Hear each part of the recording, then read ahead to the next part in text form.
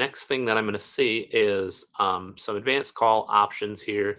So one we're going to talk about is the call queue. If I'm part of multiple call queues, it's going to give me the ability to sign in and sign out of certain queues.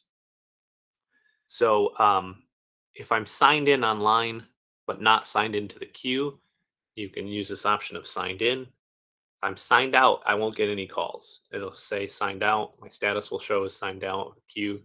Um, and if someone looks into the data, it'll show that there's no one available in that queue if I'm the only one there. Um, it's going to default because the settings that we set up to be available. So any calls that come through this call queue are automatically going to ring me as part of that call queue. Um, the other thing too is with call queues, um, I have the ability to log in and set my status.